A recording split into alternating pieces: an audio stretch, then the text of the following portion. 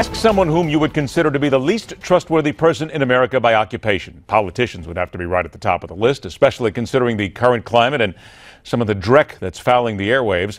A number of polls over the years have pointed to car salespeople as the least tr- uh, trusted, but, but they can be forgiven, seeing as they're just shoveling what they've been handed. Now, however, maybe we should usher a new winner in this ignominious category automobile manufacturers. For it would seem they are not only lying about their vaunted safety of the consumer that they keep harping about, but also about how they treat the environment and how those little numbers about gas mileage could be the fuzziest math around. Let us remove the air filter from this carburetor of corporate cover up and let the truth breathe. Pedal to the metal with the nationally syndicated automotive expert, the car coach Lauren Fix, tonight from a trailer in Austin, Texas. Because you were out racing today, right? Yeah, we are racing. I'm running a Jaguar, and my husband's racing a Corvette in the Trans Am series. Okay, we just wanted to point that out now because everybody's going to be going, my God, she's in a warehouse someplace. I don't know. She's racing. We've told you that. It's what she's doing. Let's go ahead and get started here. Volkswagen has now confessed this just gets worse every time we see something new. They overstated their claims about CO2 emissions and thus the fuel efficiency on 800,000 cars. They're calling this an irregularity. Lauren, come on, let's just cut right through the bovine excrement here and talk about what this is. This is a lie, flat out and simple. Well, everybody's been through it. Kia had gone through it. Hyundai has gone through it. Every single manufacturer, Ford, GM, Chrysler. The problem is the EPA makes different regulations. So to, to be truthfully, how many times have you ever bought a car where the number on the window sticker actually matched the real fuel economy numbers? The fact is, slim to none. In many cases, I've gotten substantially less, and in some cases, such as I actually own a diesel vehicle, it was more. And going to this diesel thing, and I know you want to talk about diesel and VW, but one of the things that's important is they're going after these vehicles that they admitted they were using a cheat device because they overpromised and underdelivered. So I'll give them, they get slapped for that.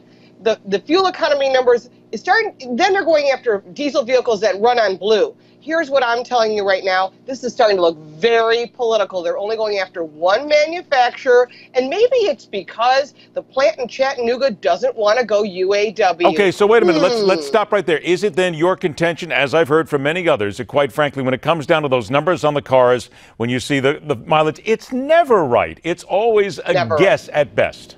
Right. That's true. They're never right. It's all how you drive, and every condition is different. It's where you go, how long you drive, you let the car idle, do you go through drive-throughs. So they're never going to be accurate because we all drive completely differently. 60 seconds quick. I want you to hear something. Here's House Minority Leader Nancy Pelosi, very happy at the passing of a highway bill this week, but says it doesn't go far enough. Here she is.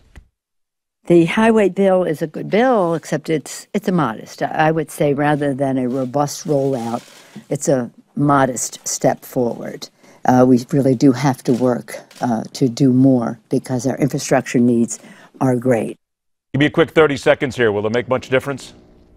Uh, honestly, no, because what they do is they increase the taxes to us, and then they go ahead and use it in the general fund because it's not going to where it's supposed to be. Because all those monies that we've been collecting on toll roads and everything else is not going to bridge, bridges and roads like they should be. We only got a minute left. I wanted to make sure we got this in. The passing mm-hmm. of a legend today at 89 yes. years of age, George Barris, has left us.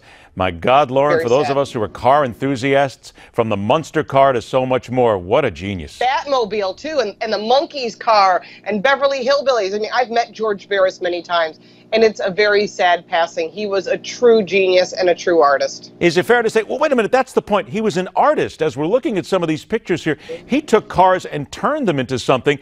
Isn't it fair to say that a lot of what he did, just as fantasy, automobile manufacturers are still using to this day? Absolutely. His talents and his technology. Actually, his grandson is actually running the business now, uh, and, it, and they're still trying to produce that same thing. You're an artist.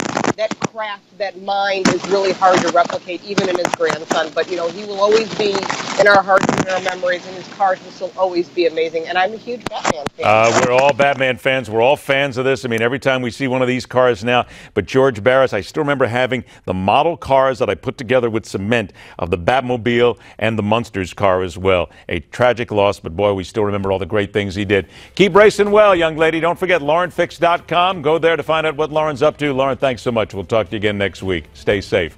We're not yet done when it comes to your money and those seeking to bathe in it. How about the insignificant wasting of some 11 billion of your dollars? We'll tell you about it next, right here on the fastest 60 minutes in news, the Hardline.